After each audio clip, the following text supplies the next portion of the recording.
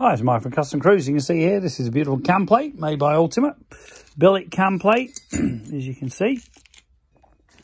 Great quality. This is your 07 up type cam plate, which you can actually fit to the earlier engines. This one is a 99 bagger motor. This is a Screaming Eagle or 95 cube 1999 Road King engine. Okay. Now this particular one comes with this in case you want to use chain drive cams or obviously you can use gear drive as well.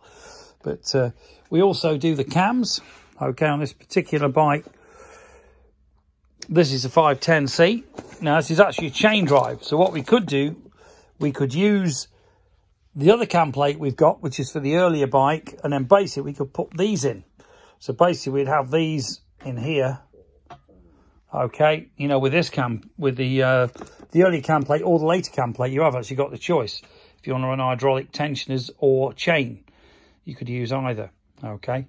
So if you're interested in any great deals on cam chains, on um, gear drive conversions, we've got some Andrews in, we've got S&S, we have got quite a few options, plus the Ultima cam plates for the old bikes or the newer bikes as well if you want to upgrade. All you must do is check your crank run out. Basically, you'll get a clock, you know, a thing like this, you'll put it on your crank, okay, and you'll check the run out. And if the run out is over half a thou, it's not a good idea. Um, some of the new bikes, 09 up can be up to, or 07 up can be up to 15 thou out. With all these old bikes up to 02, generally the cranks are bang on. And they still have the Timken taper roller in the back side, you know, which is good, your sprocket shaft side. Okay, but if you want any information at all, you can obviously see these will go in.